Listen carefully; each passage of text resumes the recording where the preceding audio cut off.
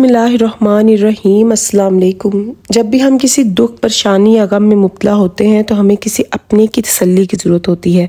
जो हमारे साथ उस दुख और परेशानी में खड़ा रहे, हमारे साथ रहे, इससे हमारी आधी परेशानी, गम, दुख दूर हो जाते हैं। आज की इस वीडियो में आपको बताएँगे कि जो आपको सत्तर माओ से भी ज़्यादा प्यार करता है, जो आपके शहरक से भी ज़्यादा करीब है वो आपको कितने प्यार से तसल्ली और दिलासा दे रहे हैं। इस वीडियो को एंड तक ज़रूर देखिएगा।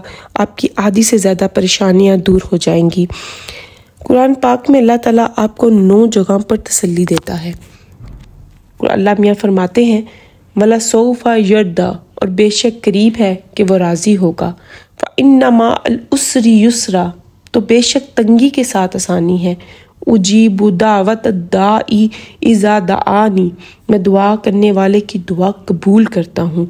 लायुकल्लिफुल्लाहु नफसन इला वुसहा अल्लाह किसी जान पर उसकी ताकत से ज़्यादा बोझ नहीं डालता।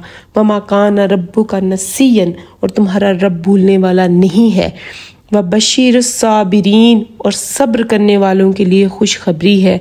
इज़ा अरादा शयन यकूल कुन फ़यकून। कि जब किसी चीज़ का इरादा फरमाता है तो उससे फरमाता है, हो जा तो वो हो जाती है। वला सोफ़ा युति का रब्बू का फतर दा बेशक करीब है कि तुम्हारा रब तुम्हें इतना देगा कि तुम राज़ी हो जाओगे। इन्ना वादल्ला हक्कन। बेशक अल्लाह का वादा सच्चा है। और वो कुरान में आपको याद हानि करवा रहे हैं कि ला तक न तू मिन रहमत अल्लाह की रहमत से ना उम्मीद मत हो। फजकुरनी अजकुरकुम, बस तुम मुझे याद करो, मैं तुम्हें याद करूँगा। ला अन शकर तुम ला नकुम अगर तुम मेरा शुक्र अदा करोगे तो मैं तुम्हें और ज़्यादा अदा करूँगा। व औफू बी अहदी ऊफ़ी बी अहदिकुम और मेरा अहद पूरा करो, मैं तुम्हारा अहद पूरा करूँगा।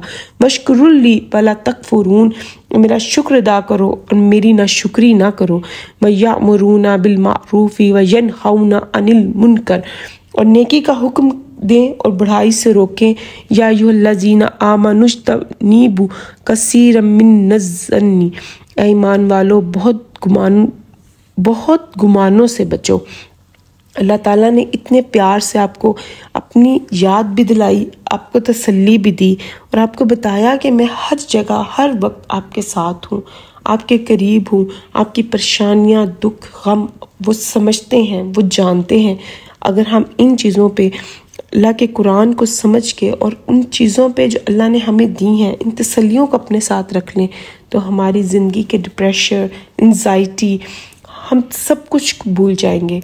अगर आपको मेरी ये कोशिश, मेरी वीडियो अच्छी लगी हो तो मेरे चैनल को लाइक सब्सक्राइब और बेल के आइकन को ज़रूर प्रेस कीजिएगा, ताकि मेरी हर नए आने वाली वीडियो का नोटिफिकेशन आपको मिल जाए और अपने दोस्तों को, अपने प्यारों के साथ ये वीडियो ज़रूर शेयर कीजिएगा ताकि वो भी अल्लाह की इन तसलियों को, इन यकीन दहानियों को समझें, जाने और किसी की ज़िंदगी समझ जाए।